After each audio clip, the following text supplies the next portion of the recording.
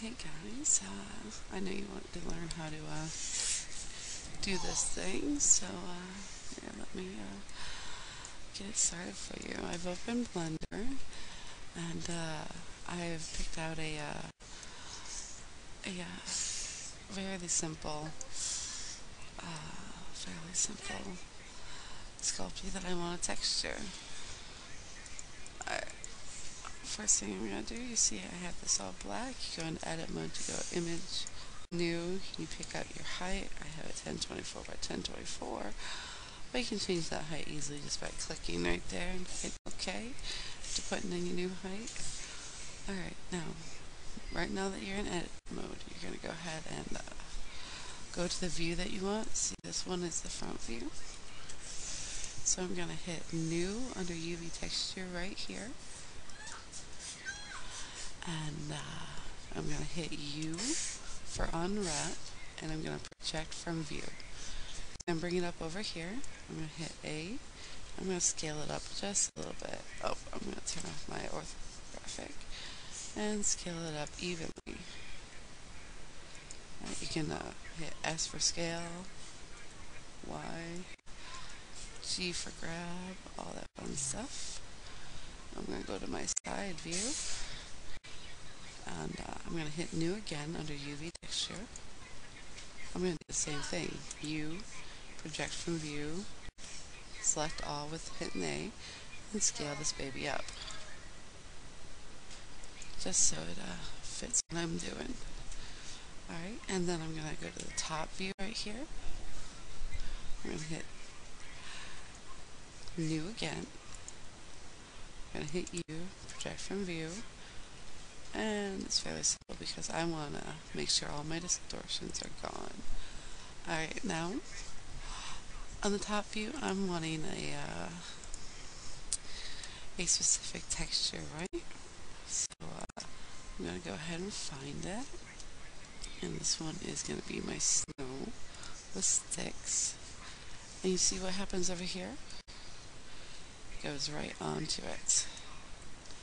Now, going to click here over here and that sets the active UV texture. And when I change it, it changes, right? So I'm going to change this to top.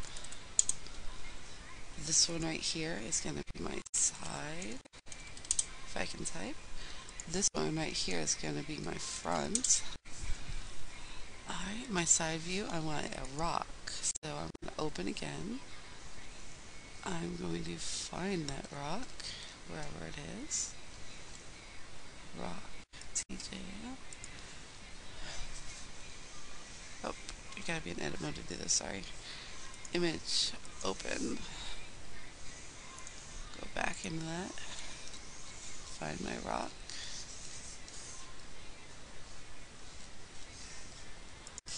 There we go. Now see, you see a lot of distortion up here. But that side view is absolutely fantastic. Alright, now I'm going to do the same thing with the front. Image, open. Get my rock again.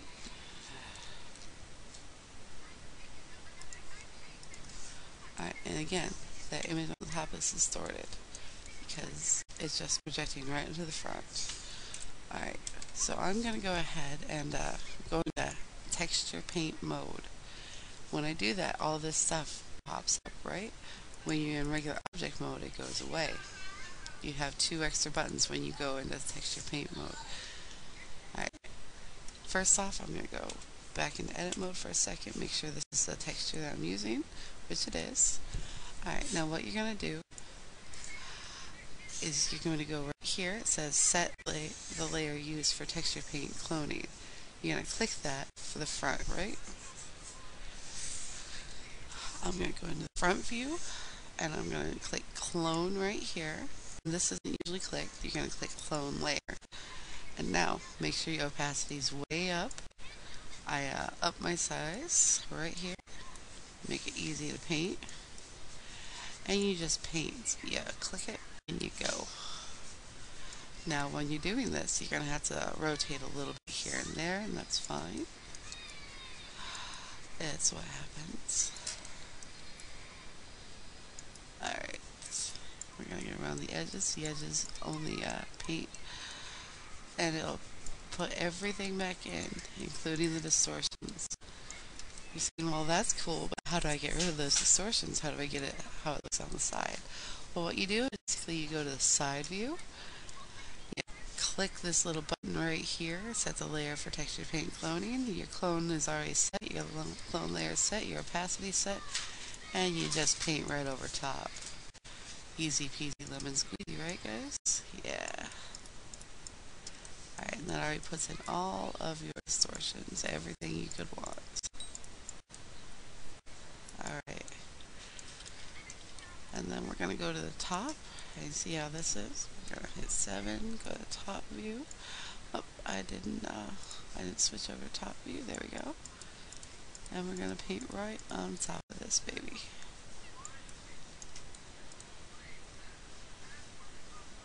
Alright. You make a mistake. Let's say you did that. Control Z undoes it. And uh, yeah, simple, easy, fun. Um, yeah, pretty, pretty nice. Now from this point, you're going to go ahead and take it to Photoshop, clean it up a little bit. Uh, you see these black triangles right here. That's where the paintbrush can't get through because it's a, it's a pole, so it's kind of hard to uh, paint all those little things. So you're just going to take it right into Photoshop and fill those in. Uh, if you wanted to paint back here, you could.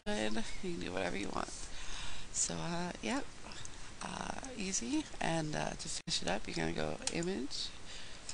Now that it's uh, all painted, you're going to go Save As and save it. Alright? Alright. You guys have fun.